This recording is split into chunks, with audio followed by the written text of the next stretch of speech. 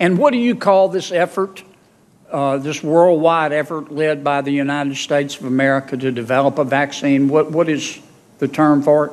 Operation Warp Speed, sir. Have you ever seen anything like Operation Warp Speed? It's unprecedented. How long does it usually take, this will be my last question, Mr. Chairman, to uh, develop a, a vaccine? I think the fastest prior was two years and usually four to six years.